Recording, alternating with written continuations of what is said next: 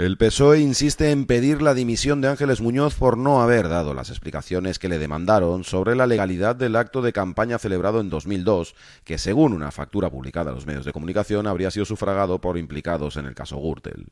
Como las únicas facturas que nosotros tenemos y que son públicas son las facturas del señor Correa, financiando ilegalmente la campaña de la candidatura de Ángeles Muñoz del Partido Popular aquí en Marbella con José María Aznar, es la única que tenemos, con lo cual es la única que nos podemos creer, porque el Partido Popular no muestra la otra factura, la factura que supuestamente tenían que haber pagado y que deducimos que no la han pagado porque no la enseña y quien pagó esto es la factura que tenemos todo que es público. Nosotros hoy aquí en Marbella, en la puerta del Palacio de Congreso, que fue testigo de ese acto sufragado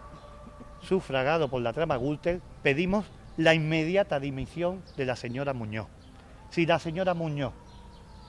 no ha demostrado que este acto se pagó legalmente por parte del Partido Popular, está admitiendo